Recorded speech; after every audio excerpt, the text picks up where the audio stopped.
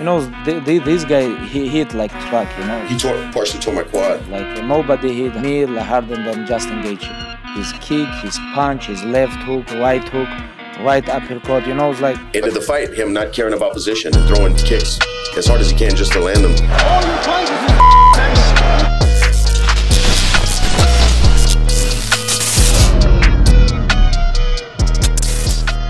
Yo, yo, YouTube. Bueno, Javib hizo un podcast y estuvieron por ahí hablando. Y Javib dijo quién era el pegador más importante a que él se había enfrentado. Y me pareció bien interesante que dijo que fuera Gaethje. Dijo, pega como si fuera un camión. Parece que te arrolló un camión. Es interesante porque a la misma vez dijo que él le habló mientras estaban peleando. Y que cuando le pegó Gaethje, él lo sintió a full. Dice que él sintió la pegada de Gaethje y dijo, esta es una pegada completamente diferente. Gaethje, él dijo, pega como un camión. Esas fueron las palabras exactas que dijo. Pega como un camión. Pero a la misma vez, él para no demostrarlo, dice que le decía en la jaula que él le estaba diciendo, eso es todo lo que tienes, eso es todo lo que tienes. Y tal parece que de alguna manera estas palabras de Javib sacaron un poco de quicio a uh, Justin Gaethje fight. It was like when I go to the cage, you know, th- th- this guy he, he hit like truck, you know, like nobody hit harder me harder than Justin Gaethje. His kick, his punch, his left hook, right hook, right uppercut, you know, it's like, but I get I make him hit me, you know. You like when to. I go to the cage and I was like, okay, I'm gonna go, I'm gonna bring him to the deep ocean deep ocean is like I'm game I'm gonna make him tired on stand up and I'm gonna bring him on ground and finish him there, you know? Claro, Gaethje sabe que él tiene pegada. Gaethje no es tonto. Él sabe que él pega duro. Tiene los brazos cortos y todo lo que tú quieras. Pero bueno, él sabe que tiene para tumbar a cualquiera. De hecho, bueno, vieron lo que hizo con Michael Chandler, que es un tipo que aguanta bastante, bastante golpes. Vieron lo que hizo con Poirier también, que fue con una patada, pero también le dio buenos golpes a Poirier, etcétera, etcétera, etcétera. Es un tipo que tanto con las manos como con los pies pega con un fierro. Me hubiese gustado, evidentemente, ver Khabib enfrentándose a la pegada de Charles Oliveira. Creo que todos nos quedamos con esa duda, ¿no? ¿Cómo hubiese sido una pelea entre Charles Oliveira y Khabib? Hubiese sido una pelea sumamente interesante, teniendo en cuenta que Oliveira, por ejemplo, bueno, sí es verdad que Gaethje también tumbó a Oliveira, le hizo knockdown a Oliveira, pero bueno, a Oliveira casi todo el mundo lo tira. Esa es la realidad, que Oliveira muchísima gente lo ha tirado y al final Oliveira en el piso ha sabido más o menos remontar. Así que teniendo en cuenta eso, me hubiese encantado ver esa pelea. Esa es una de las peleas que mirando en retrospectiva, creo que nos perdimos algo bastante, bastante importante ahí. Oliveira versus Javib. Aunque Javib puede esquivar toda esta pregunta diciendo simplemente lo que hubiera pasado es lo mismo que pasó con Islam Makachev. Lo hubiese llevado al piso y lo hubiera sometido. Hasta ahora Javib tiene esa escapatoria hasta ver qué sucede en la segunda pelea entre Oliveira e Islam Makachev. Vamos a ver qué pasa. Pero centrándonos en estas declaraciones de Javib, que son bastante interesantes, este es el tema del utilizar el stock incluso en los tipos que aparentemente son buenos y que juegan legal siempre. Aquí a Javib le salió bien el stock. Este es uno de los casos en los que puede ser que te salga bien el for Gaethje.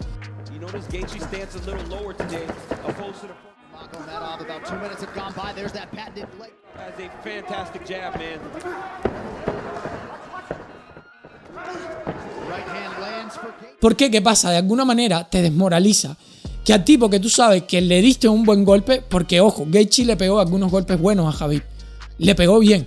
Y Javib en ocasiones tuvo que retroceder con Gaethje. Y esto es lo que sucede.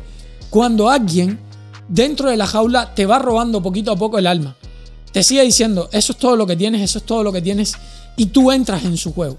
Y yo creo que lo que le pasó a Gaethje probablemente fue que poquito a poco fue entrando en el juego de Javib hasta que Javib lo logra llevar al piso.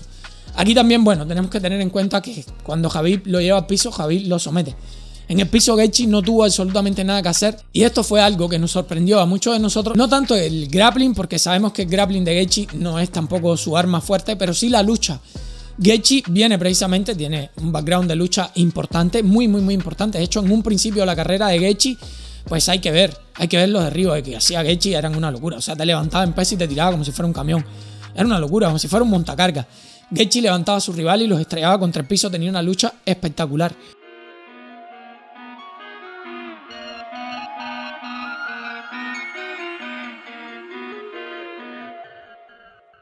e hizo una transición importantísima hacia lo que es un striker. Entonces quizás Khabib le fue robando poquito a poco con ese talk de esto es todo lo que tienes, esto es todo, la pegada tuya es esta, con esto tú piensas que me vas a ganar. Y probablemente eso fue lo que desmoralizó a Gaethje dentro de esa pelea y llevó a Gaethje a prácticamente estar en un juego que él no quería estar, que era entrar en ese juego de piso donde él sabía que se iba a ahogar. Porque Javi cuando te lleva abajo del agua te ahoga. El tipo es un salado tiburón, es un kraken. Te va a hundir y allá abajo te va a comer. No hay manera de salir de ahí. Y quizás por esto es que Echi no luchó más, o no buscó más el caos, o no trató de volver a ponerse de pie, no trató de buscar algún tipo de alternativa. Es que ya tenía el arma robada, si se quiere, en ese momento. Esto es lo importante de la mentalidad fuerte.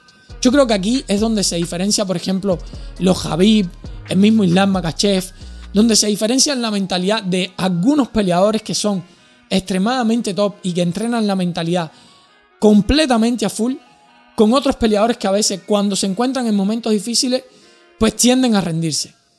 Creo que esto es lo que le sucede a algunos peleadores. Hay peleadores que les pasa eso.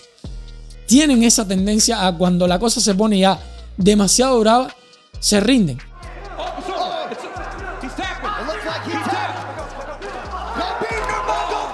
Un ejemplo que les voy a poner muy cortito.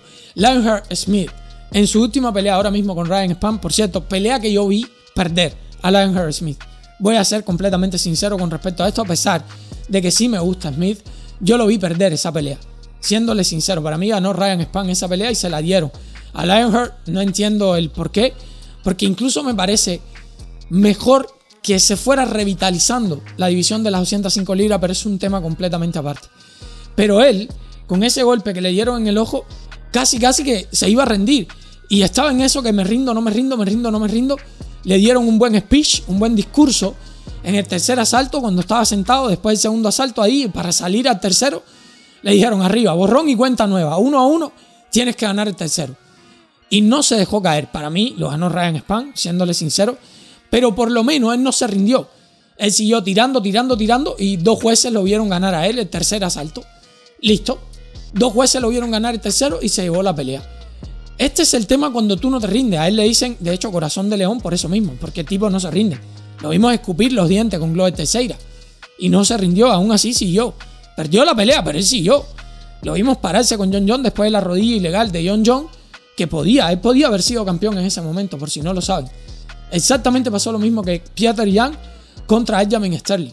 John John le hace una rodilla ilegal y él decide seguir peleando y John John luego le gana. John John la hace contra la cerca, es una rodilla ilegal contra la cerca. Entonces, este es el tema de algunos peleadores que deciden seguir, seguir, seguir, seguir, seguir, seguir. Y otros que quizás, si les logra robar el arma con un poco de trash talk, los salaste. Y la verdad, a veces que tipos como Javib hagan estas declaraciones, te dice, men, aquí no hay nadie bueno. Aquí todo el mundo está dispuesto a hacer lo que sea necesario por ganar una pelea. Incluso Javib. Incluso Javib que tiene sus códigos, que su padre estaba por detrás. Incluso Javib en una jaula, si tiene que hacer trash talk porque él sabe que va a afectar a su rival, lo va a hacer. Y lo hizo. Le hizo trash talk a Gaethje porque él lo reconoció ahí. Dice que cuando él sintió que pegaba tan duro, lo empezó a probar de la manera que, bueno, le picó. Parece que le dio en el botoncito. Esto es todo lo que tienes, esto es todo lo que tienes, como diciéndole, estás pegando muy flojo, estás pegando con almohada. Y al parecer Gaethje ahí lo que sintió fue como, si es que le estoy dando con todo. ¿Cómo es posible que me esté diciendo esto? Y parece que lo trabajó, y lo trabajó bien. Es increíble, pero son los juegos psicológicos que hay dentro de la CMMA que funciona así para todos. Y si no estás preparado, si no tienes la mentalidad lista en ese momento, pues simplemente estás embarcado.